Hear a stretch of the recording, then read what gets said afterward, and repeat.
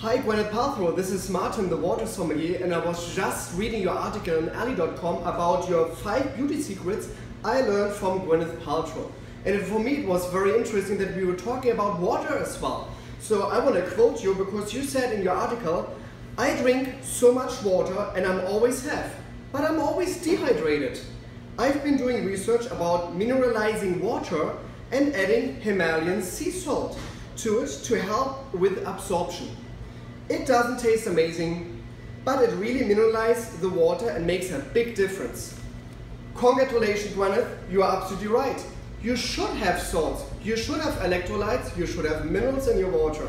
So therefore, when you drink all the time purified water, where there's barely any minerals in it, you have to add some salts. Okay, let's do this. We're adding some salts. Let's dissolve this whole stuff and let's taste it. You said it's not really tasteful. Let's see. You're absolutely right. It really doesn't taste good. This is something, I don't want to taste. But that's a little problem right there. When you would know and you would research a little bit, you will find that bottled water is not just bottled water, because there are big differences in bottled water. On the one hand, you have purified water where barely any minerals are added, and then on the other side, you have natural occurring spring, glacier, or mineral waters what comes from Mother Nature, like all these brands here for example, and there are a lot of minerals already dissolved in it.